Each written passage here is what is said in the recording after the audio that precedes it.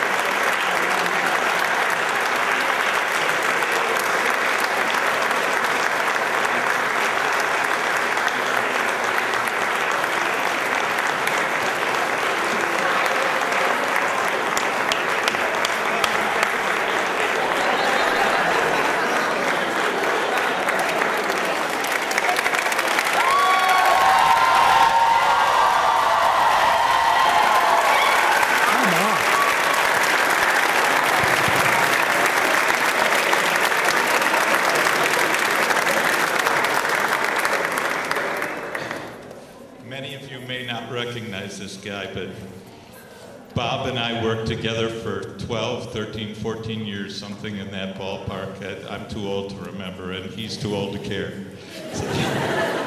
but, but the reality is, he, this guy was, was like my twin. We were like peanut butter and jelly when we worked together. He was, he, he was an awesome colleague to work with and just an amazing individual on a personal level.